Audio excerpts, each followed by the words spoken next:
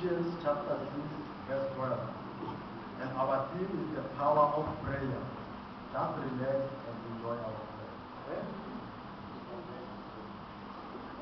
The power of prayer. Don't you express your attention. This is the power of worship. Father, Power because of worship. that's the need to be said. Like, since I checked from the Bible according to God, I'm trying to speak to some people, but just get a breakthrough.